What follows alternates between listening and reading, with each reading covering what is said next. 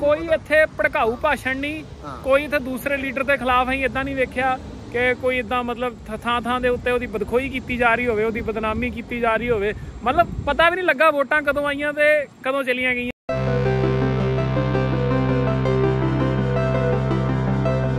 ਤੇ ਉਹ ਸਾਹਮਣੇ ਤੁਹਾਨੂੰ ਇੱਕ ਲੱਗੀ ਫੋਟੋ ਨਜ਼ਰ ਆ ਰਹੀ ਹੋਏਗੀ।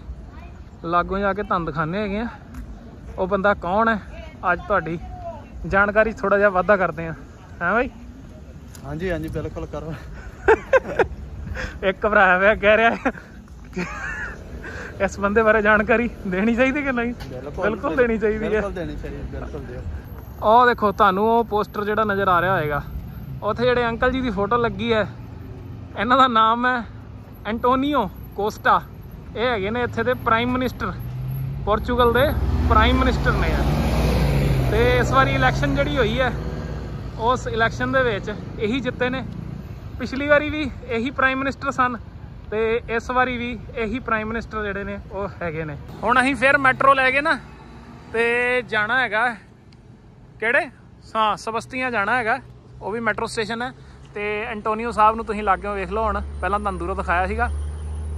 ਇਹ ਇਹਨਾਂ ਦੇ ਵੋਟਾਂ ਦੇ ਫੱਟੇ ਲੱਗੇ ਹੋਏ ਜਦੋਂ ਵੋਟਾਂ ਆਈਆਂ ਨਾ ਤੇ ਉਦੋਂ ਲਵਾਏ ਨੇ। ਵੈਸੇ ਇੱਕ ਚੀਜ਼ ਹੈਗੀ ਆ ਇੱਥੇ ਜਿਹੜੇ ਇੰਡੀਆ ਦੇ ਵਿੱਚ ਤੇ ਲੀਡਰਾਂ ਨੇ ਥਾਂ ਥਾਂ ਦੇ ਉੱਤੇ ਲਵਾਏ ਹੁੰਦੇ ਨੇ ਨਾ ਆਪਣੇ ਬੈਨਰ 'ਚ ਇੱਥੇ ਵੀ ਲਵਾਏ ਨੇ ਪਰ ਇੰਨੇ ਜ਼ਿਆਦਾ ਨਹੀਂ ਅਸੀਂ ਲੱਗੇ ਵੇਖੇ ਕਿ ਲੋਕਾਂ ਦੀਆਂ ਕੰਧਾਂ ਹੀ ਖਰਾਬ ਕੀਤੀਆਂ ਹੁਣ। ਇੰਡੀਆ ਦੇ ਵਿੱਚ ਤੇ ਲੋਕਾਂ ਦੀਆਂ ਕੰਧਾਂ ਲੋਕਾਂ ਦੇ ਦਰਵਾਜ਼ੇ ਸਭ ਖਰਾਬ ਖਰੂ ਕੀਤਾ ਹੁੰਦਾ। ਇੱਥੇ ਇਸ ਤਰ੍ਹਾਂ ਦੇ ਵੱਡੇ ਵੱਡੇ ਬੋਰਡ ਹੀ ਲੱਗੇ ਨੇ ਉਹ ਵੀ ਕਿਤੇ ਕਿਤੇ ਹਰ ਜਗ੍ਹਾ ਜ਼ਿਆਦਾ ਇਹ ਵੇਖਣ ਨੂੰ ਨਹੀਂ ਮਿਲਦਾ ਹੈਗਾ। ਜਿਵੇਂ ਆਪਣੇ ਇੰਡੀਆ ਦੇ ਵਿੱਚ ਕੋਈ ਵੀ ਇਲੈਕਸ਼ਨ ਆਉਂਦੇ ਨੇ ਹਨਾ? ਕਿੰਨੇ ਕਿੰਨੇ ਦਿਨ ਪਹਿਲਾਂ ਜਾਂ ਆਪਾਂ ਕਹਿ ਲਈਏ ਮਹੀਨੇ ਪਹਿਲਾਂ ਹੀ ਦੋ ਦੋ ਮਹੀਨੇ ਪਹਿਲਾਂ ਹੀ, ਯਾਨੀ ਕਿ ਆਲੇ ਦੁਆਲੇ ਪਤਾ ਲੱਗਣਾ ਸ਼ੁਰੂ ਹੋ ਜਾਂਦਾ ਹੈ ਕਿ ਭਾਈ ਇਲੈਕਸ਼ਨ ਆ ਰਹੇ ਨੇ। ਕਿਉਂਕਿ ਜਿਹੜੇ ਲੋਕ ਨੇ ਇਕੱਠੇ ਹੋਣੇ ਸ਼ੁਰੂ ਹੋ ਜਾਂਦੇ ਨੇ, ਸੜਕਾਂ ਦੇ ਉੱਤੇ ਜਿਹੜੇ ਰਿਕਸ਼ੇ ਵਾਲੇ ਨੇ ਜਾਂ ਆਟੋ ਵਾਲੇ ਨੇ ਸਪੀਕਰ ਲਾ ਕੇ, ਠੀਕ ਹੈ? ਤੇ ਪੂਰਾ ਚੱਲ ਰਿਹਾ ਹੁੰਦਾ ਜੀ ਕਿ ਫਲਾਣੀ ਪਾਰਟੀ ਨੇ ਜਿੱਤਣਾ, ਫਲਾਣੀ ਪਾਰਟੀ ਆ ਰਹੀ ਹੈ।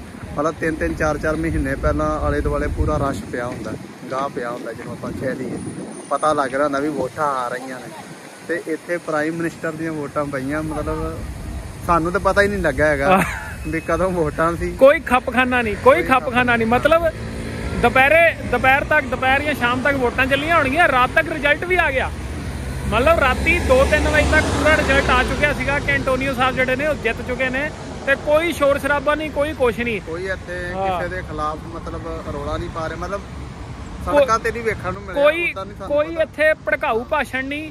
ਕੋਈ ਇੱਥੇ ਦੂਸਰੇ ਲੀਡਰ ਦੇ ਖਿਲਾਫ ਅਸੀਂ ਇਦਾਂ ਨਹੀਂ ਵੇਖਿਆ ਕਿ ਕੋਈ ਇਦਾਂ ਮਤਲਬ ਥ- ਥਾਂ ਦੇ ਉੱਤੇ ਉਹਦੀ ਬਦਖੋਈ ਕੀਤੀ ਜਾ ਰਹੀ ਹੋਵੇ ਉਹਦੀ ਬਦਨਾਮੀ ਕੀਤੀ ਜਾ ਰਹੀ ਹੋਵੇ ਮਤਲਬ ਪਤਾ ਵੀ ਨਹੀਂ ਲੱਗਾ ਵੋਟਾਂ ਕਦੋਂ ਆਈਆਂ ਤੇ ਕਦੋਂ ਚਲੀਆਂ ਗਈਆਂ ਬਸ ਇੱਕ ਤਰੀਕ ਦਾ ਪਤਾ ਸੀ ਵੀ ਇੰਨੀ ਤਰੀਕ ਨੂੰ। ਵੋਟਾਂ ਪੈਣੀਆਂ ਨੇ ਹਾਂ ਬਸ ਇੰਨਾ ਇੰਨਾ ਸਾਨੂੰ ਪਤਾ ਲੱਗਾ ਹੀ ਇੱਥੇ ਮਤਲਬ ਇੰਡੀਆ ਦੇ ਨਾਲੋਂ ਕਿੰਨਾ ਜ਼ਿਆਦਾ ਇੱਥੇ ਫ਼ਰਕ ਹੈਗਾ ਕਿ ਇੱਥੇ ਇਹ ਇਹੋ ਜਿਹਾ ਬੇਕਾਰ ਦਾ ਤਾਮਝਾਮ ਨਹੀਂ ਹੈਗਾ ਜੋ ਇੰਡੀਆ ਦੇ ਵਿੱਚ ਹੈਗਾ। ਉੱਥੇ ਹੀ ਵੇਖਣ ਦੇ ਹੁਣ ਪੰਜਾਬ ਦੇ ਵਿੱਚ ਇਲੈਕਸ਼ਨ ਹੈਗੀ ਹੈ ਤੇ 3-4 ਮਹੀਨਿਆਂ ਤੋਂ ਕਿੰਨਾ ਹੀ ਜ਼ਿਆਦਾ ਖੱਪਖਾਨਾ ਵੋਟਾਂ ਨੂੰ ਲੈ ਕੇ ਪਿਆ ਹੋਇਆ। ਮਤਲਬ ਜਿਹੜੇ ਆਪਾਂ ਪੋਸਟਰ ਦੀ ਗੱਲ ਵੀ ਕਰੀਏ ਨਾ ਹਾਂ। ਪੋਸਟਰ ਵੀ ਇੱਥੇ 10 ਜਾਂ 15 ਦਿਨ ਪਹਿਲਾਂ ਹੀ ਲੱਗੇ ਨੇ। ਹਾਂ।